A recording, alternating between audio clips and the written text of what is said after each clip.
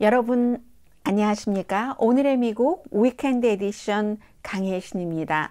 네, 한 주일에 일어났었던 아주 중요한 일들을 돌아보면서 역시 어제 정규 방송이 끝난 뒤에 뉴스까지 점검을 해드리는 Weekend Edition 이번 주에는 이 여러 가지 이슈가 있지만 당연히 우크라이나 사태입니다. 그렇기 때문에 앞에 중요한 이슈 살짝 그 리뷰를 하고 바로 이제 우크라이나 이슈에 대해서 전해드리겠습니다. 어, 우선 그 코비드 19에 대해서는 이제는 너무나 걱정하지 않으시는 분들이 계시는데 어, 어제 그 친구 두 명과 같이 밥을 먹었는데 그 두 명 가운데 한 명은 늘 친구들과 같이 밥 먹을 때도 마스크를 끼고 있었던 먹을 때를 제외하고는 그랬던 친구입니다. 그런데 그 친구가 어제는 식당에 들어올 때부터 마스크를 벗고 들어오길래 아 이제는 그 친구가 원하는 것이었던 아니면 그 사회의 분위기가 그렇건 어, 이렇게 다른 사람들을 만날 때 마스크를 로스앤젤레스에서 끼는 것보다는 끼지 않는 것이 더 편한 것이구나 하는 느낌을 받았습니다. 그런데 점점 전문가들은 앤토니 파우치 박사조차도 미국의 코비드-19 BA.2가 유행할 것이다 하는 것을 경고를 하고 있습니다. 그렇지만 이 경고에도 불구하고 벌써 그 한 일주일 전에 여러분들께 말씀드렸던 것처럼 건강하시고 또 백신 접종, 또 부스터샷까지 접종을 받으신 분들은 크게 아프시지는 않기 때문에 큰 걱정은 안 하셔도 된다. 이런 말씀 드리고요. 그렇지만 그 물결이 오기는 온다. 지금 뭐 한국이 그 확진자가 60만 명이 넘는 그런 것처럼 미국도 BA2, 어, BA.2 이 코비드의 물결이 온다는 것 말씀드립니다. 독일의 경우도 어, 하루에 25만 케이스 250명이 사망하고요. 독일이 인구가 뭐 9천만 명이 안 되잖아요. 한 8,300만 명 정도 그 정도니까 상당한 거죠. 항상 영국이나 독일 쪽에서 먼저 시작이 되고 미국에 오기 때문에 미국이 이제 이런 것들을 걱정을 하게 되는 거고요. 지금도 미국에서는 그 오미크론 그 확진자가 BA.2가 한 4분의 1 정도, 25% 정도는 되거든요. BA.1이었죠, 그동안은. 그래서 이 확산율이 너무 빠르니까 여러분들께서 마음의 준비는 하고 계시는 게 좋겠고, 그리고 이제 이런 일들을 어, 대비를 해서 항상 많이 주무시고, 잘 드시고, 저도 이번 주에는 무척 많이 쉬었습니다. 왜냐하면 뭐 서머타임으로 한 시간 덜 잔 그런 것도 있기 때문에 이런 때 삐꺼덕 하면은 그 다음에 아주 그 피곤해지는 거잖아요. 해서 저도 잘 먹고 잘 쉬었습니다. 그런데 하나 신경을 쓰셔야 될 것은 어린 자녀나 어린 그 손주가 있으신 분들은 이번에 오미크론 BA.2는 어린이에게 많이 감염이 되고 어린이가 또 심각하게 아픈 케이스가 있거든요. 이런 것들을 조심을 하셔야 되고 지금 뭐 부통령 남편도 양성, 버락 오바마 전 대통령도 양성 이런 정도입니다. 그리고 Johnson and Johnson이 처음에는 그 방식이 백신의 그 형태가 어, Pfizer and BioNTech이나 또 모더나와 달랐기 때문에 이게 이제 무슨 뭐 바이러스를 그 막는데 좀 효율이 덜하다 했는데 이게 웬걸요? 시간이 지날수록 이 같은 그 오미크론 그 변이에 대해서는 거의 비슷하게 나온다고 하니까 이 Johnson and Johnson으로 접종을 받으신 분들은 한번 웃을 일이 생기셨고요.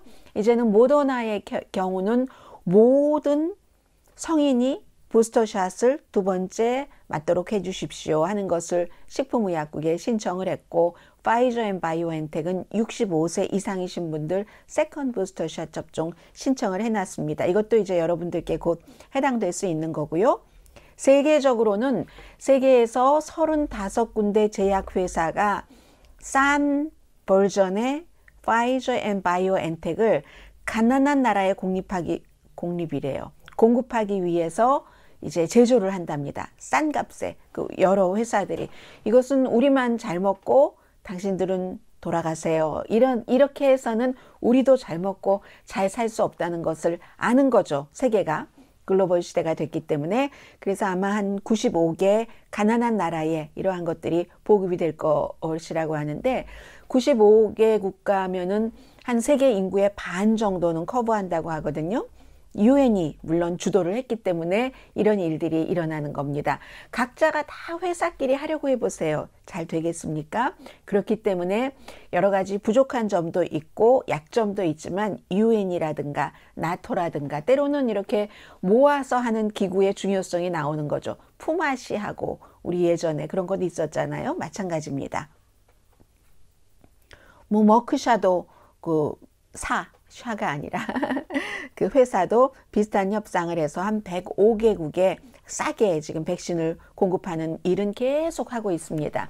엠토니 파우치 박사가 나이가 많기 때문에 이분이 이제 뭐 은퇴하실 수도 있다 이런 얘기도 나오고 있고 그동안 코비드 19 처음 시작부터 지금까지 오늘의 미국에서 가장 많이 어, 인용을 해드렸던 그런 분입니다.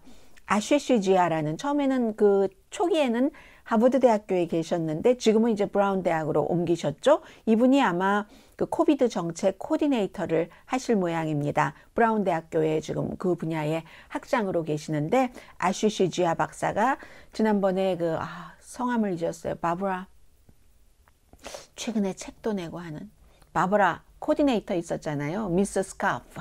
날마다 다른 스카프를 하고 나오신 그분의 자리를 이제 이분이 그분은 뭐 지금은 떠났습니다만은 본격적으로 COVID 정책의 코디네이터를 새로 정했습니다. 이건 무엇을 뜻하냐면 아, 아직 완전히 끝난 게 아니구나. 국가에서 정책으로 미래를 조금 내다보면서 해야지 될 것이 있는 거구나 하는 것을 뜻하는 거죠. 그리고는 이제 이 COVID 19이 우리 경제에 미치는 영향은 뭐 너무너무 지대해서 쉽게는 애플 공급도 조금 덜하고 왜냐하면 공장 중국에서 만들어 와야지 되는데 중국도 지금 딱 닫히고 있잖아요. 홍콩의 경우도 한국과 마찬가지로 굉장히 처음에 잘했다가 지금 어, 처음에 잘한 국가들이 국민들이 걸리지 않았기 때문에 집단 면역이 약해서 지금 많이 그렇게 일어나는 거죠. 한국의 케이스도 마찬가지고요. 그래서 뭐 애플 전화기 공급이 늦어진다. 이건 우리의 생사와 별로 관련이 없지만 편리함이라든가 또 기술적으로 fancy하게 사는 삶 이런 데는 연관이 있겠지만 그 밖에 모든 이 COVID BA.2가 세계적으로 다시 유행을 하면은 경제에 미치는 영향은 막대할 겁니다. 경제에 대해서 말씀을 좀 드리겠습니다. 이자율을 0.25%포인트 예상했던 대로 이번 주에 연방준비제도가 올렸습니다. 그 중요한 말은 그럼에도 불구하고 경기 침체는 없을 것이며 뭐 이런 얘기를 좋은 얘기를 많이 했습니다. 내년 말까지 이자율을 2.8%까지 하고 5월 달부터 이제 채권 사들이는 거 줄여서 9조 달러 규모 이것도 이제 양적 완화도 이제 멈추는 것을 하겠다 이런 얘기를 했는데 너무 늦었다. 이자율 올리는 게 인플레이션을 잡기 위해선 그리고 폭이 너무 작다. 이렇게 생각하는 사람들도 많습니다. 심지어는 연방 준비 제도에서도 이 세인트루이스의 연준 의사 그 제임스 그 불라드 어, 박사 같은 경우가 가장 그런 그 앞서서 얘기하시는 분인데 이분은 내년 말까지 이자율 2.8% 목표를 잡아서는 안 되고 올해 말까지 3%까지 올려야지 된다. 그럼 0.25%씩 올리면 지금 한 번 올렸고 3월 중순인데 3월 말인데 몇 번을 올려야지 됩니까? 이건 아마 안 될 것 같은데 그런 의견이 있다는 뜻에서 말씀을 드리고요. 아마 올해 말까지 1.75%에서 2% 정도 그리고 이제 나머지 그러면 6번이나 7번 올린다는 거고 0.25% 포인트를 기준으로 했을 때요. 나머지는 내년에 올린다 하는 게 현재로서는 지금 이 경제 상황이 지속되는 한 전문가들이 보고 있는 점입니다. 그래서 여러분들께 며칠 전에 말씀을 드렸습니다. 뭐 모기지부터 학자금, 자동차 융자금, 또 뭐 주식이나 그 채권에 투자하실 때 경우에 따라서 다 이 이 기준금리가 올리는 것에 직접적으로 많은 영향을 받는 부분도 있고 자동차처럼 큰 영향을 받지 않고 오히려 개인의 그 자동차 payment 낸 기록이라든가 여러 가지가 뭐 자동차를 어떤 종류를 여러분들께서 그 선택하시냐에 따라서 새 차냐 중고차냐에 따라서 자동차 어, 융자하실 때는 뭐 최고 20%에서 최저 0%까지 아직도 이자율이 가능하다는 말씀도 드렸고요. 이것은 여러분들께서 다 담당 전문가들과 상의하시기 바랍니다. 집값의 경우는 기준금리 올라서 어 그러면 사람들이 안 사겠네 하는데 당분간은 이것도 지역에 따라서 큰 차이가 있지만 당분간은 공급이 워낙 부족하기 때문에 내놓는 집이 별로 없기 때문에 그래서 뭐 부동산 시장이 완전히 뭐 꺼진다 이렇게 생각하고 있는 사람은 한 사람도 없어요. 단지 주택 신축에 있어서는 워낙에 노동력도 요즘에 비싸고 없고 또 그 건축 자재도 비싸고 부족하고 하니까 그쪽 부분은 주춤한다고 생각은 하고 이미 그 2월 달에 판매가 조금 줄어들기는 했어요. 1월 그 달에 비해서 7.2% 부동산 판매가 줄어들긴 했지만 전국 부동산 협회의 발표입니다. 여전히 웃돈 주고 살고요. 어, 뭐 요즘은 좀 도시다. 한국 분들이 많이 살고 계시는 그런 지역이다 하면은 100만 달러는 돼야지 그나마 그저 안락하게 살 수 있는 편안하게 화려하게 아니고 그런 정도가 되거든요. 방 두 개, 세 개짜리.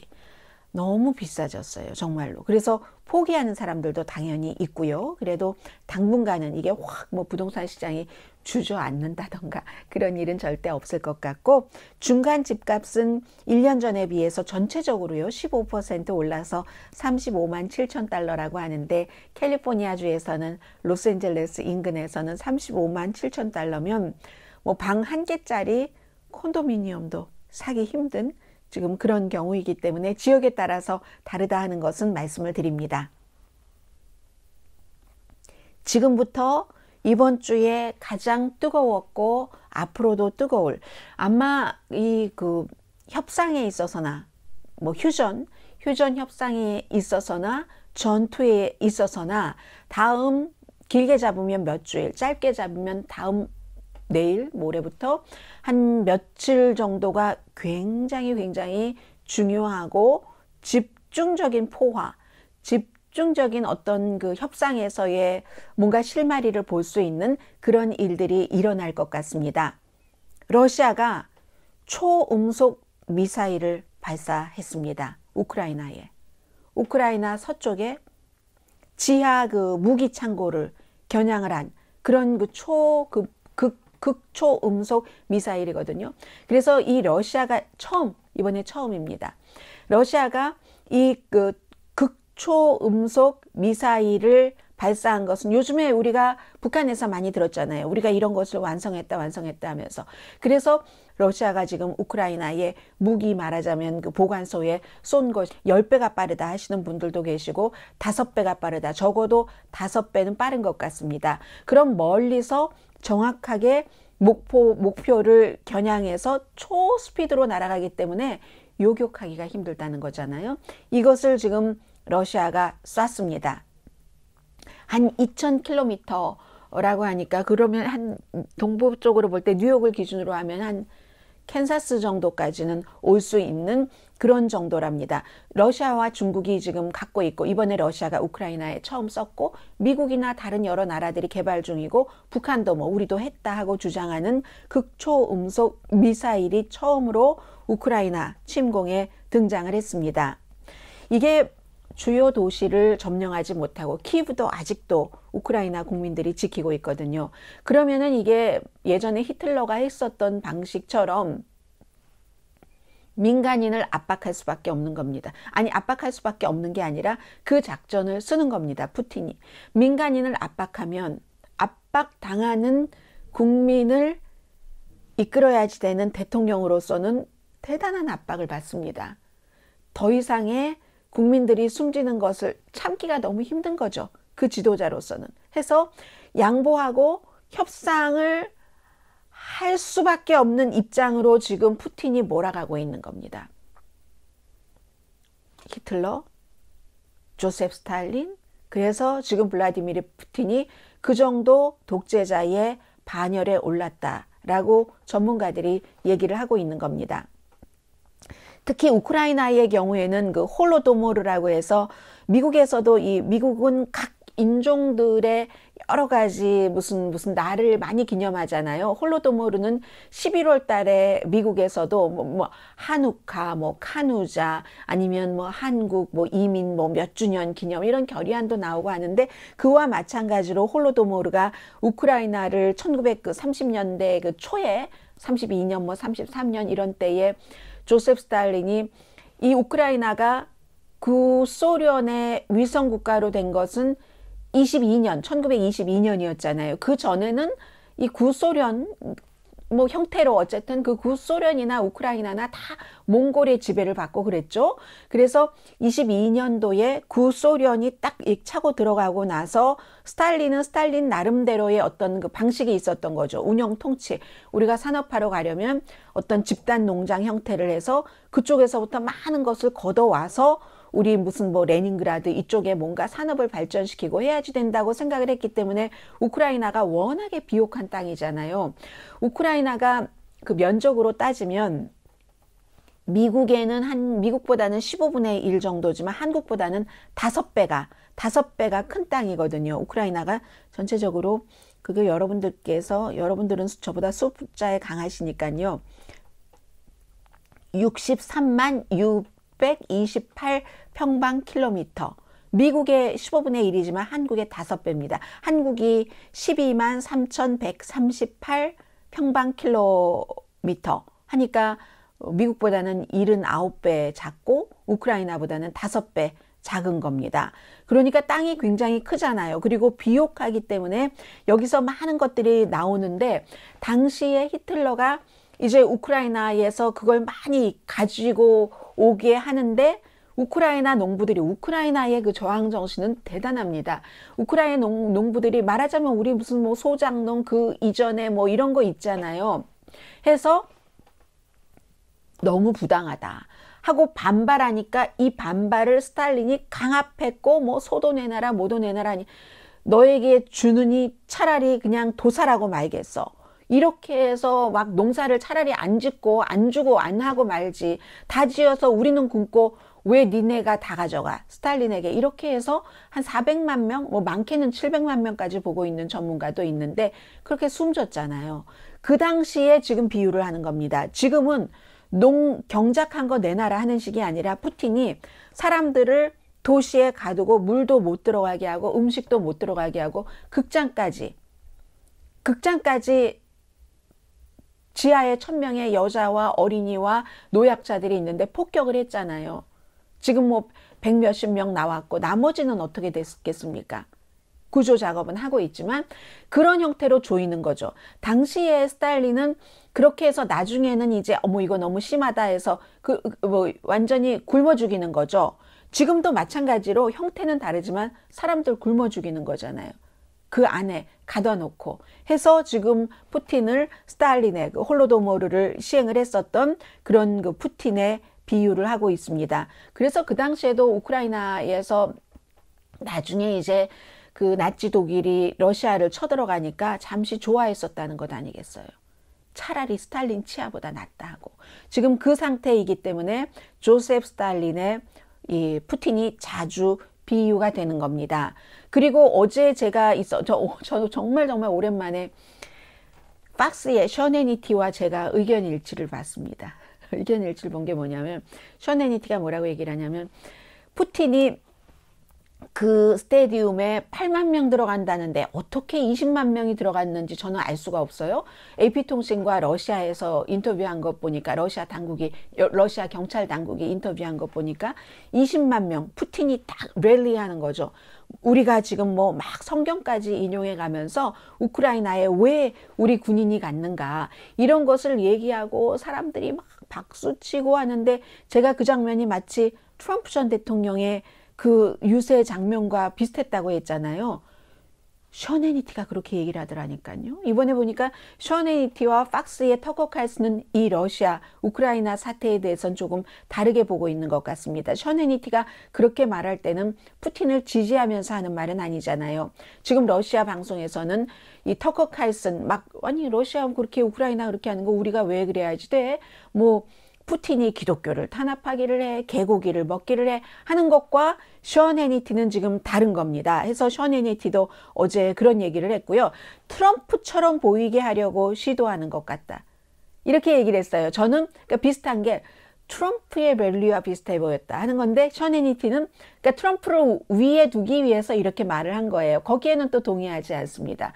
어쩌면 푸틴의 이 같은 것은 과거부터 있었던 거죠. 북한에 가보신 분들, 중국에 가보신 분들은 너무 그런 것을 잘 아시겠지만 중국과 북한의 아주 그 대대적인 뭐 매스게임이라든가 군중 동원력이라든가 이런 게 그쪽에서 왔지 아니 구소련에서 러시아에서 미국 자본주의에서 트럼프가 하는 것을 베꼈겠습니까? 그건 반대인데 어쨌든 셔네니팅 그렇게 아니 얘기를 했고 그 느낌은 비슷했다는 거죠. 그 장면이 그 장면과 같았다. 그런데 이번에 G자를 많이 쓰잖아요. G 플래그 해서 우크라이나 군사 장비나 이 러시아의 군사 장비나 비교가 잘 안 되고 하니까 G자로 쓰고 하얀 페인트 그리고 하잖아요. 뭐 그것도 의미가 있습니다만 그래서 그 G 플래그 같은 것도 많이 보이고 러시아 국기도 보이고 했는데 그러한 것들이 야 이거 정말 무슨 뭐 히틀러 푸틴과 마찬가지 하는데 어제 연설할 때 보니까 계획했던 대로 되고 있다. 우리는 뭘 해야지 되는지 알고 어떻게 해야지 되는지 알고 그것을 이루기 위해서 어느 정도의 희생, 대가가 있어야지 된다는 것도 아는데 계획대로 되고 있다. 지금 그 나치 정권이 우크라이나에서 러시아인들을 학살하고 있기 때문에 그 러시아인들도 보호해야지 되고 고통받고 있는 나치 치하에서 우크라이나 사람들을 우리가 구해줘야지 된다라고 얘기를 했습니다. 20만 명이 모였다고 해요. 동원됐겠죠. 한국에서 어렸을 때 자라보신 분들은 다 압니다. 저도 여의도에 엄청 많이 동원됐어요. 더워서 죽는 줄 알았어요, 정말. 이 추운데 그런데 그 군중 심리라는 건 대단하죠. 와 하죠. 그리고 거기에 모여서 와 하는 사람들은 그것밖에 안 보는 겁니다. 서방 세계의 이런 분위기를 알 리가 없는 거죠. 그렇기 때문에 아놀드 슈아츠네거 같은 캘리포니아 주지사가 우리 아버지가 정말 정부의 말을 믿고 나치군으로 러시아에 쳐들어가서 그 고통, 야, 이게 아니었는데 하면서 평생을 괴로워하셨습니다. 하면서 러시아 군인들과 러시아 국민들에게 9분짜리 비디오 테이블 만들어서 푸틴에 속지 마십시오. 이렇게 그 연설을 한 것 아니겠습니까? 아무튼 푸틴은 어제 그 같은 그 랠리를 했고 어, 친구를 위해서 영혼을 바치는 것보다 어, 그 더 고귀한, 더 훌륭한 사랑은 없다. 많이 들어보신 얘기잖아요. 요한복음 15장 13절. 그 얘기를 그 푸틴이 그 러시아식 정교지만 기독교지만 기독교인이다 해서 또 푸틴 지지하시는 기독교인들도 많이 계시다고 들었습니다. 아무튼 이 활용하는 거죠. 친구를 위해서 영혼을 바치는 사랑을 하는 사람이 선전 포고도 없이 남의 나라에 나, 들어가서 그렇게 사람들을 숨지게 합니까? 아무튼 그리고 애국적인 그 노래가 그 Made in Made in the USSR, Made in the 구소련이라는 노래인데 시작이 그렇게 된대요. 우크라이나, 크림, 벨라루스, 몰도바 모두 우리나라다. 최근에 만들었는가 보네요. 크림 아닌가요? 아닐 수도 있겠네요. 아 최근에 만든 것 같아요. 왜냐하면 다음 타겟이 몰도바라고 하고 크림이 합병된 건 어, 2018년도니까 그 전에는 우크라이나와 같이 있었으니까 우크라이나 하나만 뒀으면 됐을 텐데 또 이렇게 어떠한 어, 훌륭한 그 작곡가가 어, 동원이 돼서 이런 노래를 그 만들었겠네요. 우크라이나, 크림, 벨라루스, 몰도바 다 우리 땅이다. 몰도바가 바로 우크라이나 맨 그 왼쪽에 붙어 있는 작은 그런 나라인데 어, 걱정되겠네요. 아무튼 그렇게 돼 있고요. 에, 푸틴이 점점 이제 과격해진다는 것. 그러니까 미국에서는 린지 그레이엄 공화당 연방 상원 의원이 다시 어떤 방식이든지 I don't care 상관하지 않는다. 푸틴이 제거되기를 원한다. I hope, I want. 푸틴 암살을 얘기를 하는 겁니다. 암살도 좋고 아니면 그를 잡아다가 헤이그 재판소에 세우든 어쨌든 푸틴을 제거해야지만 돼 하는 얘기가 지금 나오고 있고요. 젤렌스키 우크라이나 대통령 입장에서는 비행 금지 구역을 설정해 달라고 하는데 지금까지는 나토나 미국이 다 저렇게 이제는 극초음속 미사일까지 쓰면서 봐라 더한 것도 쓸 수 있어 하고 보여주는 거잖아요. 구태여 그것을 안 써도 되는데 쓴 것이죠. 그렇기 때문에 혹시라도 핵이라도 쓰면 작은 핵무기라도 3차 대전이 일어나면 세계가 어떻게 되겠습니까? 그러니까 이걸 막으려고 나토와 미국이 하고 있는 것이고 이것을 젤렌스키도 어느 정도 알죠. 그래서 미국에서 연설할 때 비행 금지 구역을 설정해 주십시오. 비디오 아주 힘든 우크라이나를 보여주면서 하면서 나중에 제가 방송할 때 그 말씀은 깜빡 잊고 못 드렸어요. 이게 너무 지나친 요구입니까? 지나친 요구면 그러면 그 밖에 다른 지원이라도 더 많이 해 주십시오. 젤렌스키가 얘기한 겁니다. 점점 포악해지는 푸틴에 대항하는 젤렌스키는 이번 주에 영국 의회에서는 셰익스피어를 말했고 우리에게는 죽느냐 사느냐 그것이 문제입니다. To be or not to be. 아 지난주군요. 그건 캐나다에서 미국에서 I have a dream. 마틴 루터 킹 어, 주니어 목사 이름은 얘기하지 않았어요. 이러이러한 자신의 바램을 얘기하면서 그게 I have a dream. 그 I have a dream이라는 것이 여러분들께서 원하시는 민주주의 이런 것 아닙니까? 라고 얘기를 했고 독일에 가서는 홀로코스트도 얘기를 했습니다. 젤렌스키 현재 330만 명 이상이 난민이고 그야말로 그럼 뭐라고 해야 되나요? 난민은 다른 나라로 가, 간 사람 주로 폴란드 이런 데로 유랑민 그 안에서 우리 집에 못 있고 다른 곳으로 할 수 없이 갔어야지만 돼 내부에서는 650만 명 정도로 유랑민을 보고 있습니다. 그런데 중요한 것은 어, 지금까지 제가 요즘에 과거의 역사책들을 쭉 한번 들춰보고 있는데요. 잠자기 전에. 특히 이제 2차 대전, 1차 대전. 그런데 과거에 이렇게 전쟁사를 보면은요. 지도자가 강하면 국민이 흔들리지 않더군요. 그게 바로 그 런던을 그 독일이 막 폭격했었을 때 오인스턴 처칠이 있고 했었을 때 그때 런던이 그, 그 당시에 나치는 그 영국의 모든 도시를 다 폭격을 했습니다. 특히 런던 완전히 박살내는 것. 그래도 흔들리지 않았잖아요. 2차 대전 당시에. 그, 그런 것. 지도자가 강하니까 아직은 우크라이나가 흔들리지 않고 있거든요. 그리고 그러니까 미국, 캐나다, 영국, 나토 모든 나라, 한국도 처음에 주춤하다가 한국까지도 전부 다 우크라이나를 도울 수밖에 없게 되는 거죠. 어쩌면 비행 금지 구역도 설정을 해야지 된다. 우크라이나의 전쟁을 선포하는 것이 되더라도. 이런, 이런 주장이 더 강해질 것 같습니다. 사람들이 보잖아요. 여러분들께서 누군가가 보내주신 그런 그 비디오 클립을 여러분의 휴대폰을 통해서 많이 보고 계시잖아요. 그런 모습을 보면은 직접적으로 과거와 다르기 때문에 안 보고 뉴스로만 보는 그것과 다르기 때문에 그런 것 같고요. 지금 3월 14일부터 민간인을 공격하기 시작했습니다. 그러니까 전부 방공망에 대피하고 있고 하는데 우크라이나가 워낙에 그 과거에 정말 조셉 스탈린에게 내가 너에게 소를 주느니 도살하고 만다. 굶어 죽고 만다 했던 그런 그 저항 정신이 강하기 때문에 여자들도 굉장히 군대 군인으로서 지금 많이 훈련받고 어, 총을 쏘고 있고요. 또, 또 지능이 우수한 것 같아요. 정보력도. 지금은 러시아 정보기관에 우크라이나 사람 없는 사람이 없다고 하잖아요. 없는 곳이 없다고 하잖아요. 지난 8년 동안 그 푸틴이 크림반도를 점령을 하고 나서 돈바스 지역, 동쪽 지역을 막 지원을 하면서 이쪽도 가져가고 하면서 우크라이나도 어떤 때는 친러시아 대통령도 있었지만 정신 차린 대통령은 그걸 보고 지금 다 정보국에 들어가 있기 때문에 젤렌스키가 살아난 거잖아요. 막 용병을 보내고 몇백 명씩 살해하라고 살생부 리스트를 보내고 했어도 지금 그렇게 돼 있습니다. 그러니까 유럽에서 이거 다 끝났지만 올해의 노벨 평화상은 젤렌스키와 우크라이나 국민에게 줘야지 됩니다. 하면서 이미 접수 신청이 끝났는데도 더 받자고 하잖아요. 올해는 당연히 젤렌스키와 이 전쟁이 어떻게 되든지 우크라이나 국민이 노벨 평화상 받을 것이라고 저도 한 표 거기에 놓습니다. 지금부터는 약간 세계의 분위기를 얘기를 하고 그리고 오늘 제가 제일 전해드리고 싶었던 것을 맨, 맨 마지막에 마지막에 순서를 뒀습니다.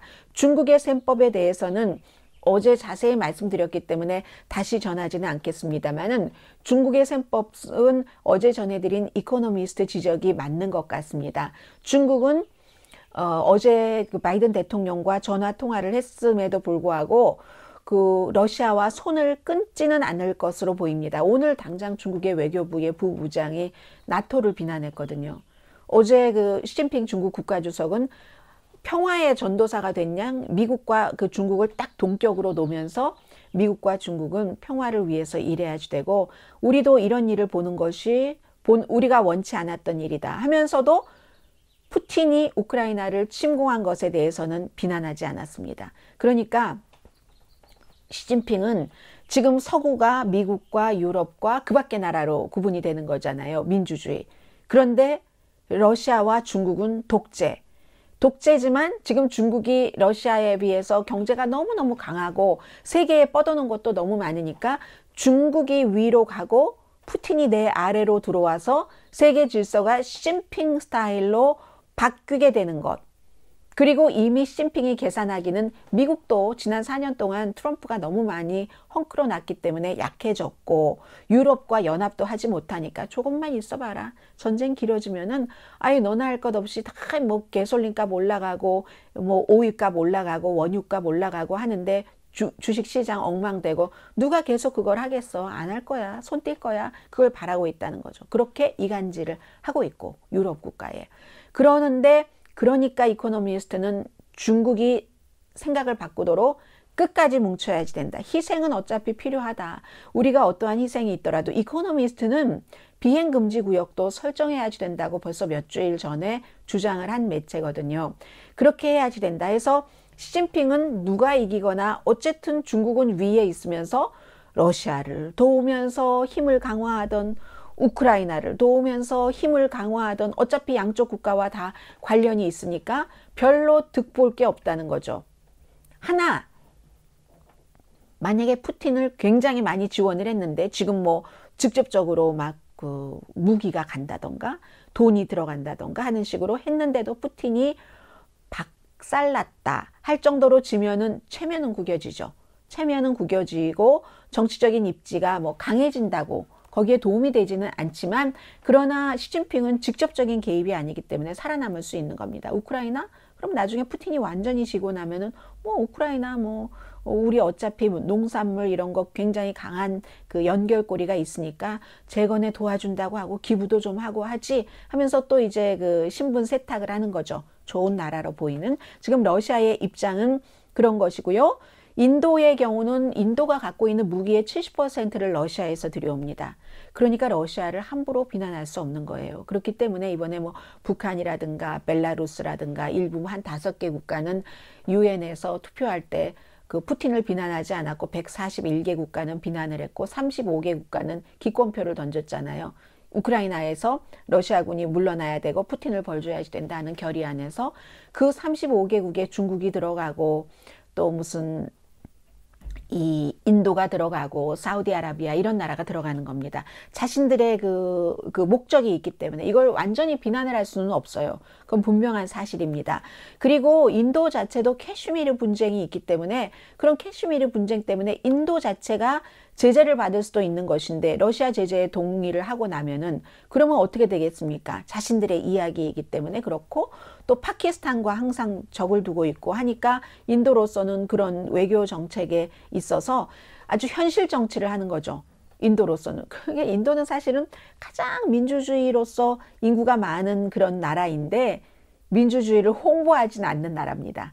그리고 또 부분적으로 종교에 있어서는 인도의 그 총리가 상당히 그 차별적인 그런 정책을 쓰고 있기도 하고요.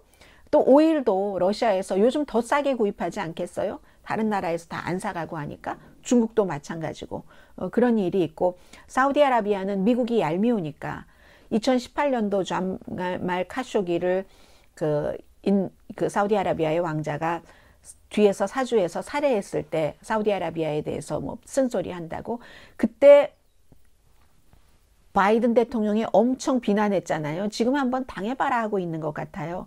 뭔가 그 오일에 대해서 협상하자고 바이든 대통령이 전화 걸어도 안 받는다고 하는 것 보니까 그리고 이스라엘 같은 경우는 침공 자체까지는 비난을 합니다. 그렇지만 이스라엘도 국가 안보가 이스라엘에는 제일 중요하잖아요. 시리아와의 문제에 있어서 어쨌든 그, 그 시리아, 러시아, 이스라엘 다 엮여 있기 때문에 이스라엘도 푸틴을 완전히 비난할 수 없는 그런 입장입니다. 그러니까 푸틴과 젤렌스키 사이에서 좀 그 중재 역할을 해본다고 하면서 항복해라 했다는 얘기가 그래서 그 나오는 것이기도 하고요. 사우스 아프리카는 중립을 지키고 있고 나토를 비난하기도 하고 어떤 때는 이제 러시아로부터 받는 게 많은 거죠.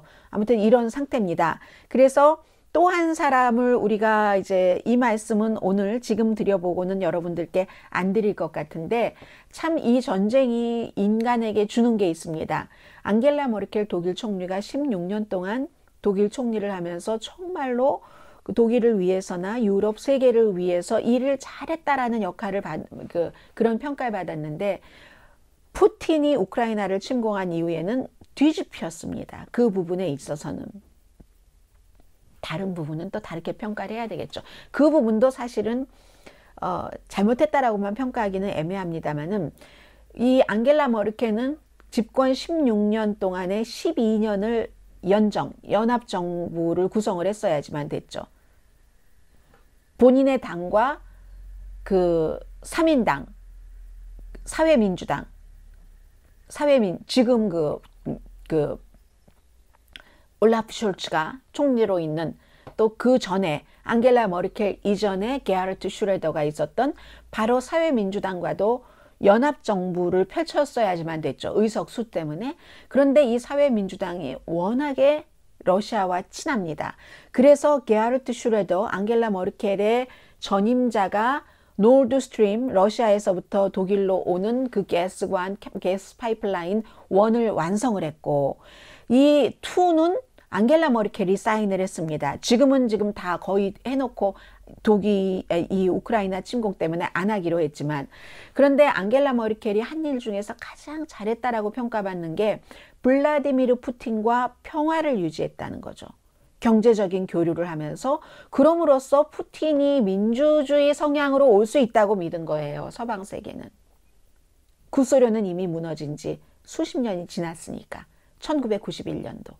그런데 사람들이 몰랐던 거죠. KGB 출신의 이 블라디미르 푸틴은 동독에서도 일을 했었고요.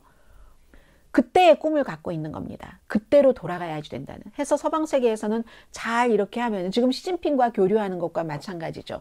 푸틴을 잘 이렇게 하면 어차피 그곳에서 독재로 오래 일을 하고 있으니까 아, 민주주의 쪽으로 민주주의 같은 것이 러시아에 많이 들어가서 많이 들어가긴 했어요. 생활 부분에서는 하겠지 하면서 평화를 유지를 했는데 그게 바로 이런 상태에 왔다는 거죠. 오히려 막 러시아 오일 의존도만 높아졌고 어느 정도냐면요.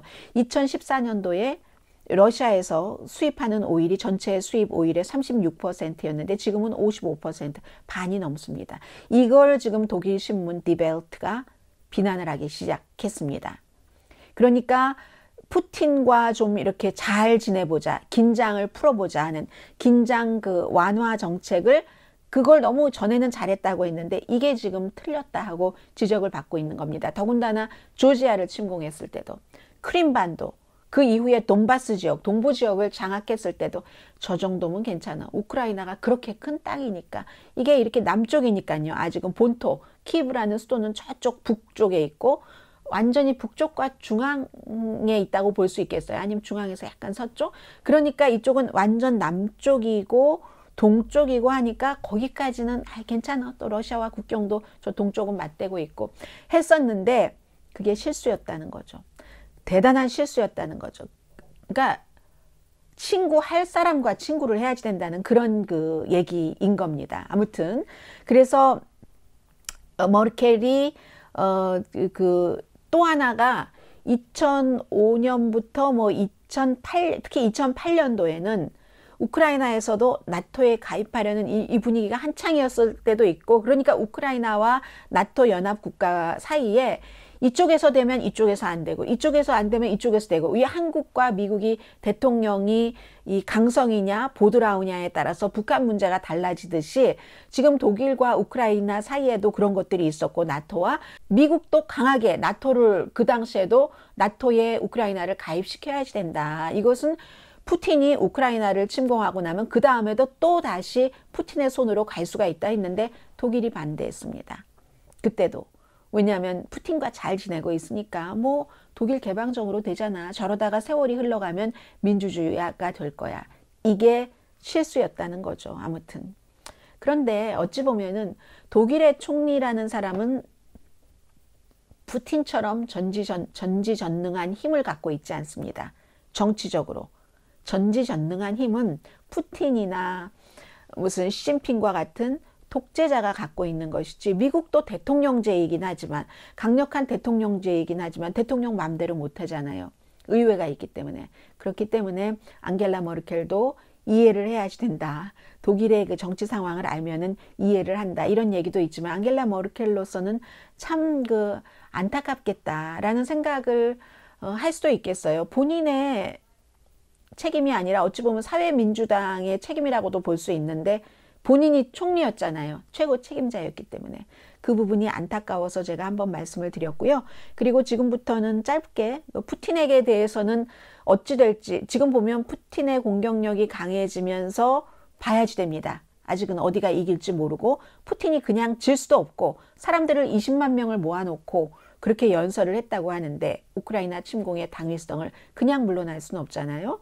그래서 어떻게 될지 글쎄요. 푸틴이 협상을 받으려면 돈바스 지역을 완전히 독립을 시켜준다 하고 이 우크라이나의 대통령이 승인을 한, 하고 심지어 러시아가 주둔하는 것까지도 그런데 왜 그래야 되지? 라고 생각을 할 수 있지 않겠어요. 우크라이나 측에서 보면은 어, 그리고 크림반도에 대해서는 영원히 러시아가 가져라. 이런 것을 푸틴이 원하는데 우크라이나로서는 그게 또 쉽지 않은 일이고 이런 때 쿠바 사태를 생각하게 되는 겁니다. 후르시초프와 젊은 존 F 케네디 서로 양보하면서 그쪽에서 미사일 빼고 뭐 터키 쪽에서 그 미사일 빼고 쿠바에서 빼고 하면서 결정적으로 서로 어 체면이 체면 어떡하지 생각했지만 체면을 구긴 게 아니라 나중에 그거를 그 전쟁이 없, 없게 된 이후에는 이 사람들은 양쪽 사람 다 체면을 구긴 게 아니라 좋은 지도자였던 거죠. 판단을 잘한 그런 지금 그 상태고요. 어, 떤 게 올지 저는 알 수 없는 것 같습니다. 여러 무슨 뭐 무슨 매체들을 다 보지만 그, 그 푸틴 같은 경우는 분명한 게 우크라이나가 유럽 국가처럼 된다면 내 바로 국경이 마주쳤는데 그럼 나는 영원히 집권을 해야지 되는데 우리 국민들도 어머 우크라이나도 민주화인데 우리도 말못 말 잘못하면 뭐 15년 갇히고 이런 거 하는 말이 안 되잖아 우리도 우크라이나처럼 해야지 되잖아 이 꼴을 못 보는 겁니다. 그렇게 그 되는 것 보는 그렇게 되는 것을 보느니 차라리 우크라이나를 완전히 다 파괴시키겠다는 게 지금 푸틴의 마음이기 때문에 알 수 없는 겁니다. 정말로. 그리고 다른 그 주변 국가들에서는 그 다음이 당신 조국이면 어떡합니까? 뭐 폴란드 어디 어디 리투아니아 뭐 몰도바 뭐 많잖아요. 어, 지금 그리고 이것은요 한국은 이미 겪은 거예요. 냉전의 산물이었잖아요. 중국과 구소련, 북한, 미국과 한국. 절대로 트루먼이 한국이 공산화되는 그 꼴은 못 보지 한 거잖아요. 남과 북이 이렇게 잘려서 고래 싸움에 새우등 터졌다는 표현 맞습니다. 지금 우크라이나도 서방 쪽으로 간다고 구소련 중국이 그렇게 그 북한 쪽에 있었고 지금 미국 쪽이 똑같아요. 저는 판박이라고 봅니다. 거의. 그랬던 것처럼 지금 우크라이나를 두고 우크라이나가 남한인 거예요. 미국과 유럽 연합이 그, 그 이렇게 하는 것이고 지금 그렇습니다. 아무튼 그래서 그 정도 말씀드리고요. 음, 이 젤렌스키는 말씀을 드렸고 우크라이나의 아주 위대한 테니스 스타 3명을 말씀드리고 제가 오늘 말씀드리고 싶었던 거 전합니다. 알렉산드루 돌로폴로프 33살 아주 젊습니다. 손목 부상으로 최근에 은퇴한 테니스 스타입니다. 터키에서 이번 주에 그 훈련을 마치고 수도 키브로 갔습니다. 테니스 채를 잡던 손에 총을 들고 내가 지금 람보는 아닙니다. 그러나 이제는 무기가 손에 쥐었을 때 편안한 정도는 됐습니다. 우크라이나가 나의 집이니까 내가 지켜야죠. 그리고 47살에 안드리 메드베데프.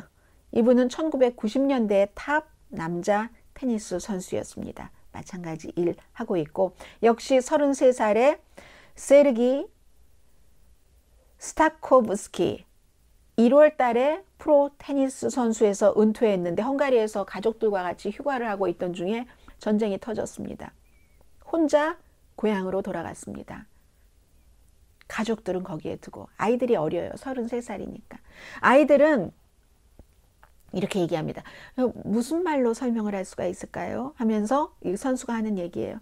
내가 손에 총을 쥐고 고향을 지키다니 하면서 3월 달부터 이제 육군에서 소속돼서 일하고 있는데 내 아이들은 내가 우크라이나에 있는 거 모릅니다. 그리고 그 아이들은 너무 어려서 전쟁이라는 것을 이해하지 못해요. 무슨 일이 일어나고 있는지 이런 그리고 뭐 다른 운동 선수들 너무 많잖아요. 수도 키브의 그 시장도 그렇고 시장 동생도 그렇고 헤비웨이급 챔피언이었고 아무튼 스스로 자기가 스스로 부상당해서 우크라이나군과 싸우지 않기를 바라는 러시아군도 많다고 들었습니다.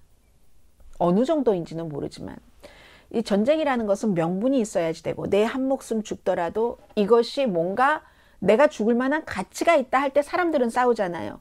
헝가리에서 가족들과 휴가를 즐기다가 아니면 총을 쏠 줄 모르니까 다른 나라에서 총 쏘는 것을 배워서 우크라이나로 간다는 거잖아요. 테니스 스타들이 그런 게 있고 어찌 보면 음, 아직도 우크라이나의 순수의 시대 어, 이러한 마음이 있는 게 아닌가 하는 그 생각이 듭니다. 그리고 지금부터는 한 분을 소개를 해드리는데 한 2주일쯤 전에 한국 매체에서 잠깐 소개를 했었고 미국의 많은 매체에서 잠깐 잠깐씩 소개가 됐습니다. 오늘 저는 본격적으로 이분을 조금 말씀을 드리겠는데 왜 이분을 한 분을 뭐 스타를 만들려서 그러는 게 아니라 이 지역에 이게 한 지역의 고려인 주지사입니다.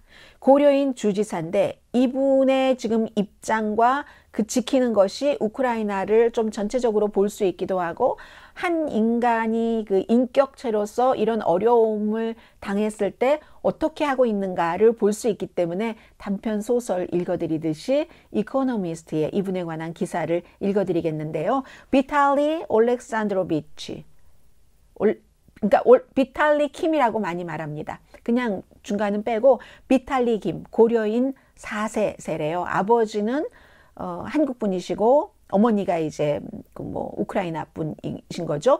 미콜라이우라는 곳의 주지사입니다. 그러니까 그러니까 이 지도에서 보시니까 아시겠죠? 흑해 있고 오데사라고 요즘 많이 나오는데 그 오데사 동쪽이고 남쪽인 거예요. 남서쪽인 거죠. 이 우크라이나의 인구는 한 51만 명 되는 주인데 우크라이나의 주가 한 뭐한 뭐 30개 정도 되는 것 같아요.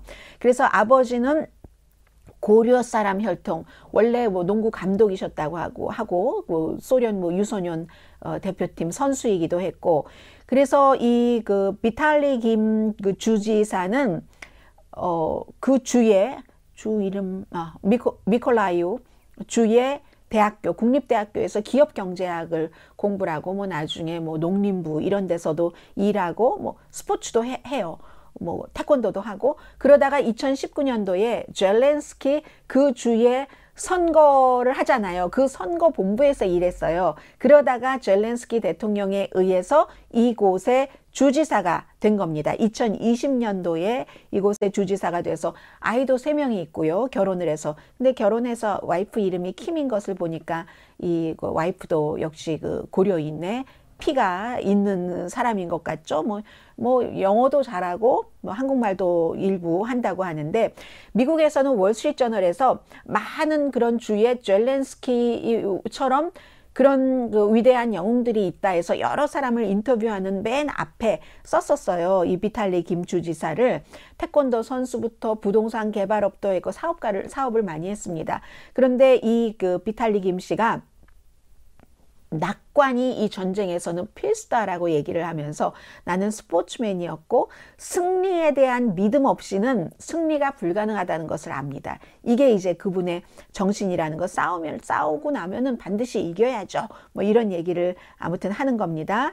어, 그래서 그 이코노미스트가 뭐라고 설명을 했냐면 카리스마 넘치는 주지사 전략적인 우크라이나 항구를 아직까지도 방어하고 있다.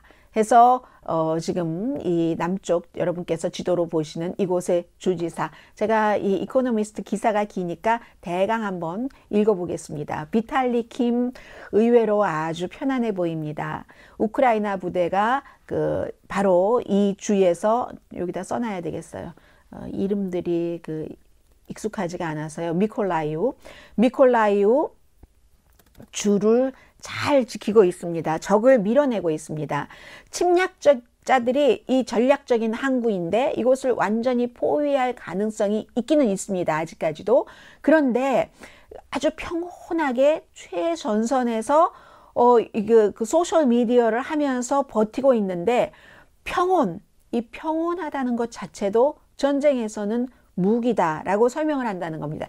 이 스포츠를 했었던 분들이요. 굉장히 이런 정신력이 강한 건 당연하잖아요. 그래도 처음엔 군인이 아니었으니까 무서웠겠죠.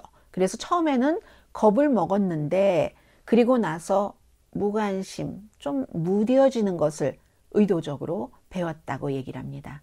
우리가 무관심하면 러시아인들이 겁을 먹고 그때쯤이면 우리는 밤에 잠을 잘 수 있습니다. 해서 이코노미스트는 평, 그 평정심이 때때로는 조금 거만해 보이기도 하는데 침착함, 평정심 이런 것이 우크라이나 전국적으로 이, 이, 일어나고 있는 저항심의 상징이라고 표현을 했습니다. 그리고 이 비탈리 김 주지사의 뭐 보스죠. 보스면서 우상인 볼로디미르 젤렌스키와 닮았다고 얘기를 합니다. 젤렌스키 대통령과 마찬가지로 정치 지금 초보자인 거예요. 그리고 어쩌다가 전쟁 지도자, 리더가 됐고 소셜 미디어의 연인이 됐습니다. 유명한 일이 이제 날마다 비디오 블로그를 하는데 뭐 유머러스하게도 하고 때로는 바보 같은 러시아 군대의 아, 저 진압군 자체가 뭐 시들시들해. 뭐 아니 진압이 아니라 침략군 자체가 시들시들해. 뭐 이런 식으로 그리고 그런 말을 할 때 사람들은 듣습니다. 미콜라이브 주민들이 거리 모퉁이에 막 그 타이어를 쌓고요. 러시아 탱크가 도시의 방어막을 돌파할 때 경우에는 거기에 막 불을 지펴서 연막을 만든다는 거죠. 그렇게 하기에 충분한 뭐 이런 그 포스트도 보여주고 제가 이렇게 해놨습니다. 언제 불을 켜야지 되는지를 알려드릴게요. 라고 말합니다. 그리고 여러분, 우리는 할 수 있습니다. 믿음을 잃지 마세요. 라고도 지시합니다. Good evening. Remember, 기억하세요. 우리는 우크라이나 출신입니다. 끝내줍시다. 이런 비디오를 날마다 올리는 거예요. 그래서 샌드백으로 다 그 요새화가 된 그 도청 건물의 회의실에서 전부 요즘은 그 화상 회의를 하잖아요. 한국계로서 이 러시아어를 말하는 주지사는 우연하게 동영상을 만들기 시작했다는 겁니다. 갑자기요. 대변인이 어린 아이들과 함께 대피를 해야지 되는 상황이 온 거예요. 그러니까 이 주의 주민들에게 50 몇, 몇만 명에게 알려야지 되는데 본인이 할 수밖에 없었던 거예요. 사람들에게 빨리 자주 다가가기 위해서. 그래서 이 비디오를 하기 시작했는데 훈련된 군인은 아니지만 뭐 농업이라든가 건설이라든가 부동산, 요식업 많은 분야에서 성공한 경력을 쌓아서 41살밖에 안 됐는데요. 이분이 지금. 그래서 경력을 쌓아서 이 전략을 수립할 때 아주 그 유리하다고 얘기를 합니다. 전쟁은 전쟁이지 아름다운 그림이 아닙니다. 당신은 당신의 모든 논리를 이 전쟁 속에 그려야지 됩니다. 그리고 특히 중요한 것은 직관, intuition, intuition. 미국 표현, 미국 사람들 같았으면 아마 gut feeling이라고 얘기를 했을 것 같아요. 영국 매체라서 intuition이라고 표현을 했습니다. 뭐 비슷하지만요. intuition, 이 직관이 있지 않으면 판단력을 그러면서도 잘해야지 되는 굉장히 많은 사람들이 숨질 수 있습니다. 계속 공격을 받고 있으니까요. 이 미콜라 니콜라이우는 미콜라이우는 어, 이 우크라이나의 전체 그 해안선을 점령하려는 러시아에는 분명한 지금 점령되지 않고 있으니까 장애죠.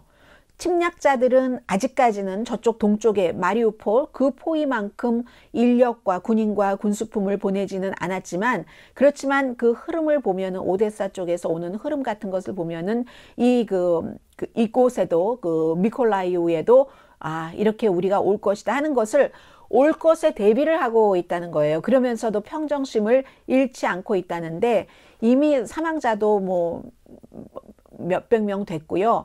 해서 지역의 영안실이 작으니까 사람들을 차곡차곡 쌓을 수밖에 없는 시체 가 서로 쌓이는 이런 것도 얘기를 합니다. 그래서 시에 나가 보면은 군에 입대한다는 사람을 도와주는 초소 그리고 뭐 그런 곳을 도움을 주는 그런 곳을 또 제외하고는 조용한데 이곳에서 이 비탈리 김이라는 아버지가 고려인인 이 주지사가 어, 지금 지도를 하고 있는 이곳에서 어, 그야말로 가난한 사람, 몸으로 움직이지 못하는 사람, 아니면 두려움이 너무 없는 사람, 이런 사람을 빼고는 어, 그런 사람만 도시에 남아 있다는 얘기입니다. 상당수는 그러니까 너무 허약하기 때문에 떠날 수 없는 그런 분들이겠죠. 그래서 어, 그런 분들은 그, 그 쇼핑 카트 이런 것을 가지고는 가게마다 뭔가 이제 남아 있는 것이 있는가 하는 것으로 달려가 달려가는 거죠. 마지막 문을 연 그 가게로 store로 이런 땐 store 가게보다 상점이 더 어울리는 것 같아요. 도시를 다니고 있는 아주 극히 드문 몇몇 자동차들은 내가 정말 잘못된 장소에 wrong time 그 wrong place에 있어서 포격을 받지 않을까 해서 빨리빨리 쌩쌩 달린다는 거죠. 신호등은 이미 다 망가져 버렸고요.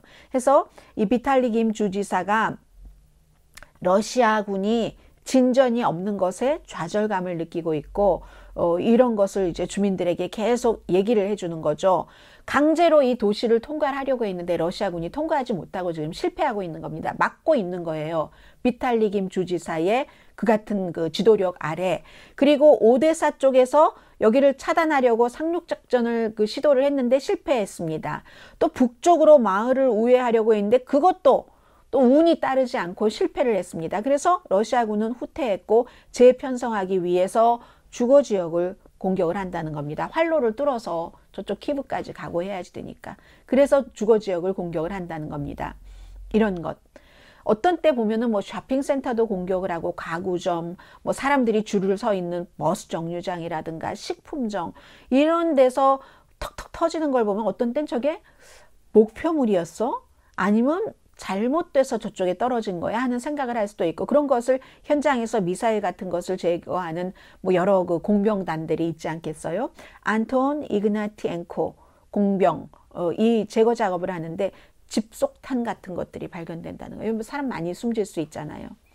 이, 이런 것들 얘기를 하면서 지금 그 비탈리 김 주지사가 딱 지키고 있는 어, 그 미콜라이브 동물원도 아주 특이하다고 얘기를 합니다. 그 라켓 공격이 적어도 세 번 이상 있었는데 한 번은 새의 울타리 안에 딱 꽂혔답니다. 그 뒤로 공작은 before after 공작이 그 공격을 받기 전과는 완전히 다른 공작이 돼 있다고 직원들이 얘기를 한대요. 동물원 직원들이. 또 다른 그 라켓이 퓨마 옆에 사자 근처에 많이 떨어졌는데 동물원의 부국장이 인터뷰를 하는데 전쟁이 너무 빨리 이곳까지 와서 우리가 다 대피시킬 수가 없었다. 대피 먼저 시켜야지 되는 그런 동물부터 안전한 곳으로 대피시키느라고 최선을 다하기는 했다 하는데 이제 그 같은 전쟁이 일어나고 그 3주일, 4주일째가 됐잖아요. 사자, 호랑이, 표범 이런 동물들이 미콜라이브 거리를 자유롭게 돌아다닌답니다. 사람들은 혹시 폭격 맞을까봐 인지하니까 돌아다니지 않는 곳을. 그런데도 이곳을 굉장히 강하게 이 비탈리 김 주지사가 지키고 있다는 보도였습니다. 네, 오늘 여기까지 하고요. 내일은 아마 한국에서 보는 한국을 말씀드릴 수 있을 것 같고, 아, 오늘 그 말씀 드려야지 되네요. 뉴스에서 많은 그 표현, 우크라이나 이 푸틴의 침공에 관한 것을 말씀드리겠습니다. 앙겔라 모르켈 독일 총리의 데탄트 미국식으로는 뭐 데탄트하고 뭐 원래 프랑스어니까 데탕트 데탕트라고 하잖아요. 그 긴장 완화, 그 멀켈의 긴장 완화 정책, 푸틴과의 긴장 완화 정책, 참 어, 어떨지 모르지만 그런 거, 국가와 국가 사이에 어, 긴장 완화 정책, 데탕트라는 단어를 굉장히 많이 쓰고요. 또 하나는 인도. 인도의 외교 정책은 굉장히 제가 현실주의적이라고 현실 정치라고 말씀드렸잖아요. 러시아와 여러 가지 그 뭐 군사적인 문제가 있기 때문에 그런 때그 그 정책이 very 그 real politic 현실 정치다 할 때 그 real politic이라는 말을 요즘엔 특히 많이 쓰고 있죠. 비탈리 킴도 생각하고 그 볼로디미르 젤렌스키, 앙겔라 머켈 많은 인도의 그 총리 생각이 나기도 하는 그런 그 토요일입니다. 여기서 마치고요. 내일 다시 뵙겠습니다. 강혜신이었습니다.